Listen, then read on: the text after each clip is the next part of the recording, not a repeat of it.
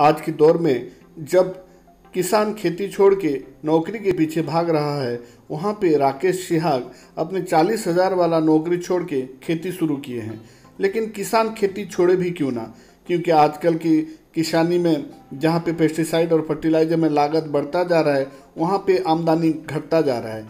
उसी समय में राकेश सिहाग अपनी नौ एकड़ ज़मीन से सालाना 40 से 50 लाख रुपए कमा लेते हैं। तो आइए जानते हैं कि राकेश सिहाग की इस सफलता के पीछे राज क्या है? किस विधि से ये इतना आमदनी कर रहे हैं?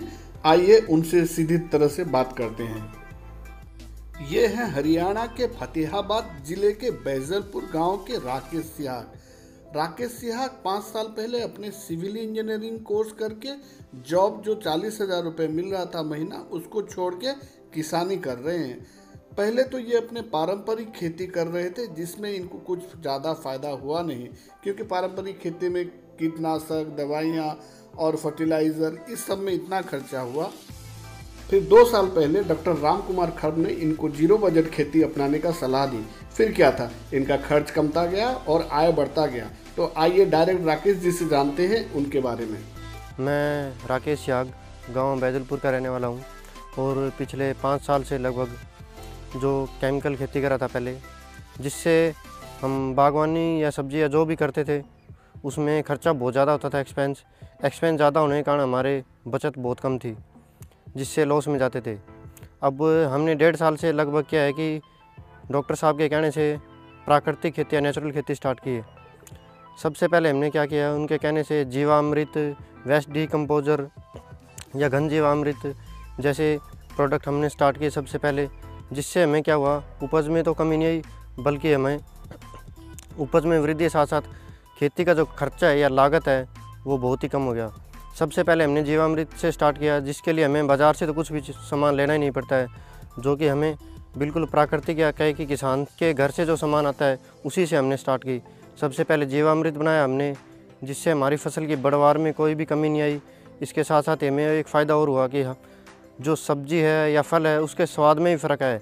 इसके साथ साथ बाज़ार में इसकी मांग बढ़ी है, जो जीव, जीवामृत और इससे यूज़ करते हैं। इसके अलावा हमने क्या है कि जैसे फ़सल में कोई फंगीसाइड या वो उस, यूज़ करते थे, उसकी जगह हमने क्या काम किया? लस्सी से हमने फंगीसाइड बनाया। नीम, करेला, ये सब लेके हमने क्या किया? कीटनाशक दवाई बनाई ऑर्गेनिक। जी पूर्ण रूप से जैविक। उसके लिए हमने नीम से पत्ते, करेला सब ये चीज़ें यूज़ की। तो आपने सुना, इनका सफलता का राज है जीवामृत। तो आइए आज सीखते हैं जीवामृत किस तरह से बिना खर्च में या बहुत कम खर्च में बना सकते हैं। तो इसके लिए सबसे पहले चाहिए गोमाता का गोमूत्र 10 लीटर गोमूत्र। आप एक 200 लीटर प्लास्टिक ड्रम में 10 लीटर गोमूत्र लीजिए। उसके बाद उसमें फ्रेश, पूरा ताज़ा 10 किलो गोबर डालिए उसके ऊपर। कोई भी देसी गाय का गोबर हो तो सबसे अच्छा है। तो 10 किलो गोबर उसमें डालना है। उसके बाद वहाँ पे बेसन या किसी भी तरह का जो चना है, उसका आटा एक किलो उसमें डालना है। तो बेसन, इसमें आप पुराना बेसन जो ख़राब बेसन भी ले सकते हैं। ख़राब मतलब जो नीचे गिरा हुआ वैसे और उसमें एक किलो गुड़। तो गुड़ तो सबसे अच्छा होता है, जो ऑर्गेनिक गुड़ होता है, देसी गुड़ होता है, क्योंकि दुकान में जो गुड़ मिलते हैं, उसमें केमिकल वगैरह मिलाया जाता है, जिससे कि जीवाणु ठीक से पनप नहीं पाते हैं। और इसके ऊपर इसमें आपको आधा किलो मिट्टी डालना है। ऐसा मिट्टी डालना है जहाँ पे कोई सी तरह का कि पेस्टिसाइड यूज़ ना हुआ हो या फिर किसी तरह का फर्टिलाइज़र यूज़ नहीं हुआ हो। सबसे अच्छा माना जाता है नी पीपल या बरगद की पेड़ के नीचे का मिट्टी आप इसमें डालेंगे। तो उसमें जो बहुत आ, हमको जो लाभ पहुँचाने वाले जीवाणु होते हैं उनकी संख्या बहुत ज़्यादा होता है। तो वो जीवाणु ये जीवामृत में अपने आप को बहुगुना कर लेते हैं। तो इसमें आपको आधा किलो या पाव भर मिट्टी डालना है बरगद का पेड़ के नीचे या पीपल का पेड़ के नीचे। फिर इसमें आप इसमें पानी डालिए और इसको एक डंडे, बड़े वाले डंडे से आप इसको हिलाइए, घुमाइए, जिससे चलाने से क्या होता है, वो गुड़, बेसन और गोबर और गौमूत्र मिट्टी के साथ मिलके यहाँ पे जीवाणु तैयार होंगे। इसमें डायरेक्ट सूर्य की रोशनी नहीं पड़ना चाहिए, आप पेड़ के नीचे रखिए और इसके ऊपर इस तरह से कवर करके रखिए, जिससे कि डायरेक्ट सनलाइट ना पड़े। तो गर्मी के दिनों में ये सात से आठ दिनों में तैयार हो जाता है और सर्दियों में ये 12 से 15 दिनों में तैयार हो जाता है। तो चलिए हम इसमें पानी मिला देते हैं, पूरा ड्रम भर के पानी मिला लेंगे। तो इससे 200 लीटर जीवामृत तैयार हो जाएगा, जो कि आपको एक एकड़ ज़मीन में ये सफिशियंट है। इसको डालने से एक एकड़ ज़मीन में आपका पौधों में न्यूट्रिशन मिल जाएगा। तो इस तरह से आप गोबर, गुड़, गोमूत्र और जो बेसन हमने डाला और उसमें जो मिट्टी डाला है, ये सबको चलाते रहना पड़ेगा। सुबह, शाम आप पाँच पाँच मिनट इसको चलाते रहिए। सात से आठ दिनों में आपकी जीवामृत तैयार हो जाएगा। तो अभी हम देखेंगे कि किस तरह से इसको प्रयोग किस तरह से करना है। प्रयोग करने का विधि बहुत ही आसान है। अगर आपके यहाँ ड्रिप इरीगेशन है तो ड्रिप इरीगेशन के पहले जहाँ पे पानी छोड़ते हैं, वहाँ पे आप इसको मिला सकते हैं, लेकिन उस, वहाँ पे अगर मिलाएँगे तो इसको आपको सूती कपड़े से छान लेना पड़ेगा। और इससे दूसरा भी एक विधि है, अगर आप ऐसे खुले में पानी दे रहे हैं, अपने खेतों में सिंचाई कर रहे हैं तो आपको बस क्या करना है, जहाँ पे आप सिंचाई कर रहे हैं, वहाँ पे एक डब्बे में या ड्रम में ये जीवामृत को डाल के रखिए और एक छोटे से पाइप में आप पानी के धार के साथ इसको मिला दीजिए। अभी हम आपको दिखा रहे हैं किस तरह से आपको जीवामृत को पानी में मिला के छोड़ना है। जब भी आप पंप चालू करते हैं, उससे पहले ऐसे नाली में आप जीवामृत को छोड़ दीजिए और अपने खेती में सिंचाई कर लीजिए। इससे अपने आप जीवामृत जो है पानी के साथ मिल के खेतों में जाता जाएगा और आपके खेतों में जीवामृत हर पौधे के नीचे पहुँचता जाएगा। तो ये है राकेश जी का सफलता का राज।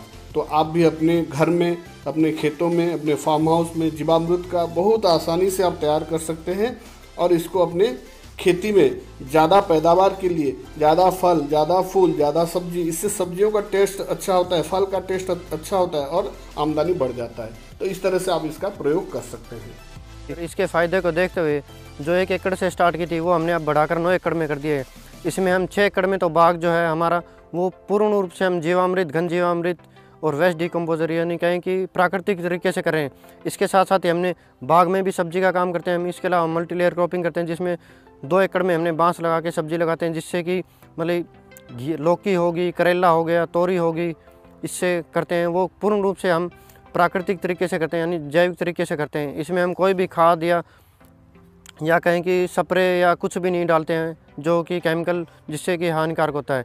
इसमें हम पूर्ण रूप से जीवामृत, घन जीवामृत और या कहें कि जो हमने प्राकृतिक तरीके से कीटनाशक है या फफूंदनाशक तैयार किए, उसका यूज़ कर रहे हैं। इसके साथ साथ ही क्या है, किसान भाइयों, कि जो जो प्राकृतिक खेती करते हैं, जैविक खेती करते हैं, जिसे मतलब ज़ीरो बजट फ़ार्मिंग इससे हमें जो भी सब्ज़ी है, बाग से जो भी फल होते हैं, इसके साथ साथ इसकी मार्केट में डिमांड बढ़ी है, जिससे हमें फलों का रेट जो है, फलों का, सब्जियों का रेट जो है मार्केट से हमें ज़्यादा मिलता है। क्या कहें कि मार्केट से हमें दोगुना प्राइस मिलता है, दोगुना दाम मिलता है हमें। इसके लिए उदाहरण के तौर पे क्या कहते हैं कि जैसे अमरूद का बाग था, अमरूद जैसे स्टार्ट हुए हमारे तो जो मार्केट में रेट इसका लगभग बीस रुपये से पच्चीस रुपये स्टार्ट है, जबकि हमारे खेत से आके जो सप्लाई, जो कस्टमर कहते हैं कस्टमर अपने आप पचास रुपये किलो या साठ रुपये किलो हमारे खेत से आगे ले के जाते हैं, जिससे हमें एक तो जाना भी नहीं पड़ता, मार्केट से वो भी खर्चा बचा है, प्लस हमें दाम दोगुने मिलते हैं।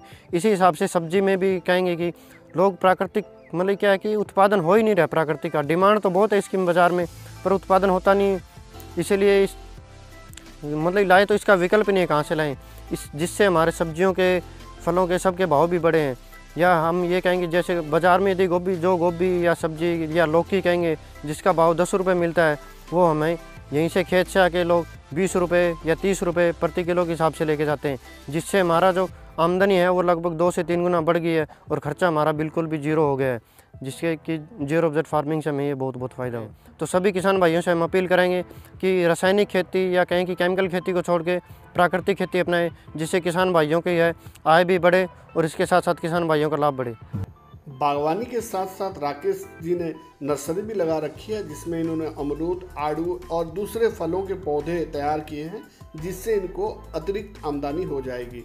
तो राकेश सिविल इंजीनियर होते हुए अपनी नौकरी को छोड़ के, जहाँ पे वो सालाना पाँच लाख रुपए कमा रहे थे, आज की तारीख में वो पचास लाख रुपए कमा रहे हैं। तो इस तरह से जो संपन्न व्यक्ति हैं, अपने पास ज़मीन है उनके पास, वो नौकरी के पीछे ना भागें और अपना खेती शुरू कर सकते हैं।